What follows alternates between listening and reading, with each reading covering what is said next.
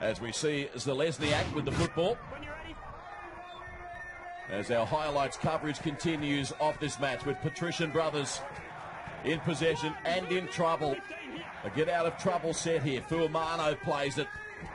And Keebra really dominating proceedings over the last 15 minutes or so. A mistake by Patrician Brothers to compound to compound the way things are going for them at the moment. Yeah, I, I just it's two in the tackle. I, no, look, he's entitled to hang on to that football. There's no doubt about that, and there'll be no arguing with it.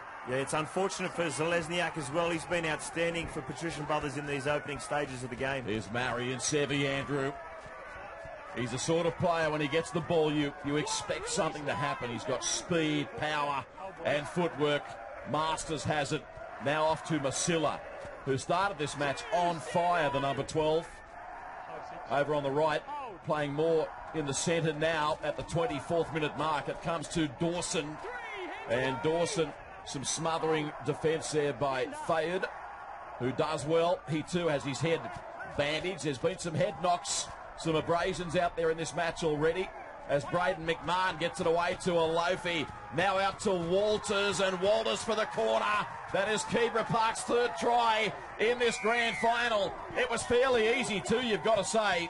14 0 kick to come from Whiteout. I'll tell you what, that's a great try to a finisher. Have a look at it now. He's a very, very talented kid, this young Walters, and you can just watch him here now after just a, a pretty basic set of six. The young halfback's gone to the line, sorry, the five back gone to the line, played it direct, and um, offload here, second phase, good shifted ball there.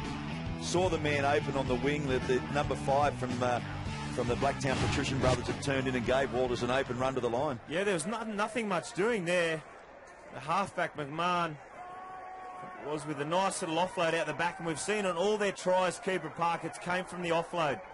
And the defence of Patrician Brothers just getting caught in and not doing their jobs. They still had it covered there, but a beautiful finish from Walters.